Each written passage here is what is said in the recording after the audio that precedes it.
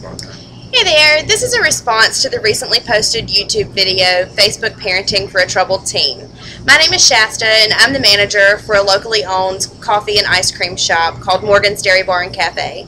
We have a location in Lincoln as well as Stanley, North Carolina, and my company would like to offer this girl a job.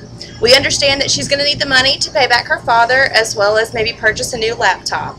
We're pretty sure that she's probably not watching this video, so if anybody out there knows her, could you please forward the message that Morgan's Dairy Bar and Cafe has a job waiting for her.